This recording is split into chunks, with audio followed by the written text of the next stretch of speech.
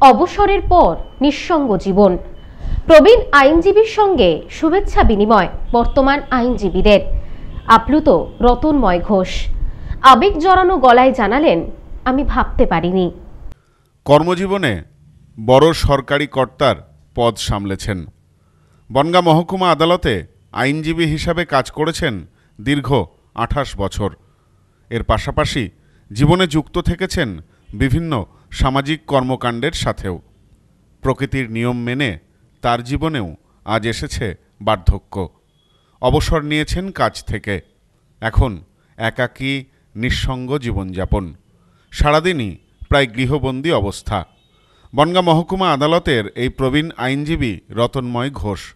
এদিন রতনময় বাবুর বাড়িতেই পৌঁছে যান বনগাঁ মহকুমা লয়ার্স অ্যাসোসিয়েশনের প্রতিনিধিরা। তার হাতে তুলে দেওয়া হয় ফুল মিষ্টি নতুন চাদর। নিঃসঙ্গতা কাটাতেই এই উদ্যোগ বলে জানিয়েছেন আইনজীবীরা। জানা গেছে, উনিশশো একাত্তর সালে রতনময় বাবুর উদ্যোগে বনগাঁতে শুরু হয় পুষ্প প্রদর্শনী কুসুমিকা।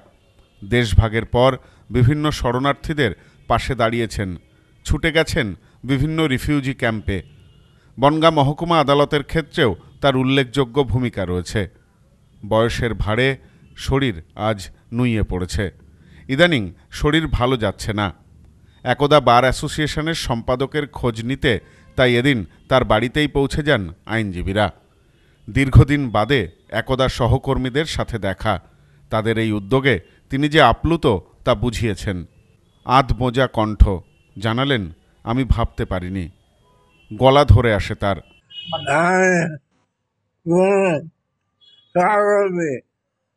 কোনো পুরনো সহকর্মীরা এসেছিলেন। কেমন সহকর্মী লাগছে? কেমন লাগছে?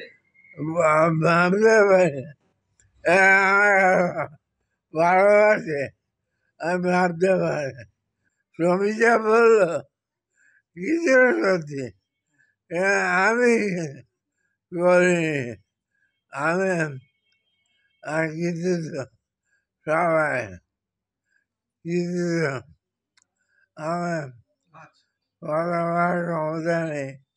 আমি এ বিষয়ে বনগাঁ লয়ার্স অ্যাসোসিয়েশনের সম্পাদক সমীর দাস বলেন রতনময় বাবুর অবদান আমরা ভুলব না। কিছুটা হলেও তার নিঃসঙ্গতা কাটানোর জন্যই আমাদের আজকের এই উদ্যোগ। আমরা বনগাঁ লয়ার্স অ্যাসোসিয়েশনের তরফ থেকে আমাদের বারের বর্তমানে সবথেকে প্রবীণতম ব্যক্তি রতনময় ঘোষ যিনি দীর্ঘদিন জয়েন্ট বিডিও ছিলেন এবং তারপরে প্র্যাকটিসে এসেছিলেন। বারের সেক্রেটারির পদ অলঙ্কৃত করেছিলেন দীর্ঘদিন।